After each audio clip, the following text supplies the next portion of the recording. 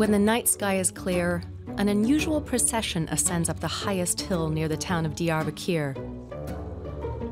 They follow Abdul Kadir Topkatch, the man with the telescope.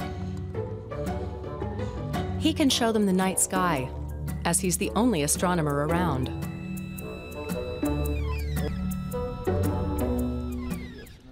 Today we're looking at Jupiter. It must be somewhere in this direction. God willing, we'll find it.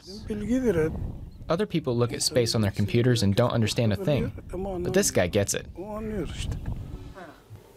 The sign above his door reads Abdul Kadir Topkatch, baker. But instead of working in the bakery, 55 year old Abdul Kadir spends his time in his little backyard house, where he's busy with the stars and planets. All this despite having been at primary school only a few years. As a child, I'd stay awake looking at the stars and always ended up asking myself, is it possible to see what's behind the moon? He's even disproved the great Galileo. The moon's orbit is undulated rather than elliptic. Others had already made this discovery, but he couldn't know that. The American Space Agency, NASA, sent him a letter nevertheless. He keeps it safe and would like to be in touch with more astronomers around the world.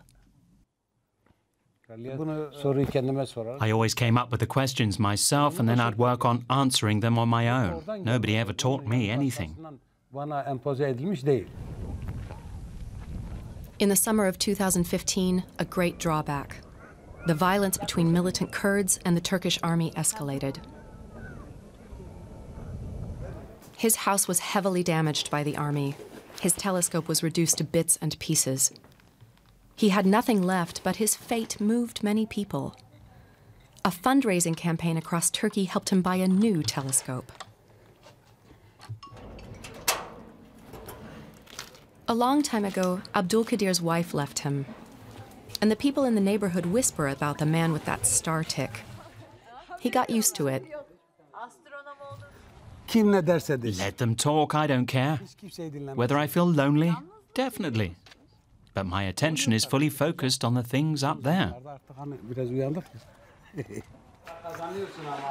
Even in his old bakery, the colleagues don't really know what to do with him.